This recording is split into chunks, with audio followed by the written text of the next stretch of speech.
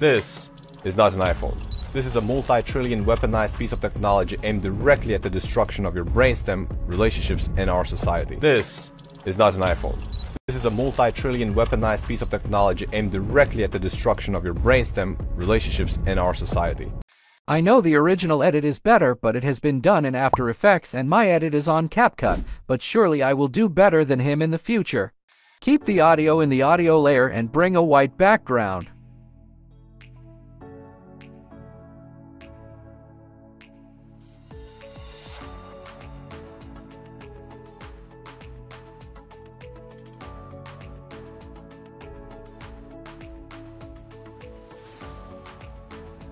Now bring the phone and do color grading as shown.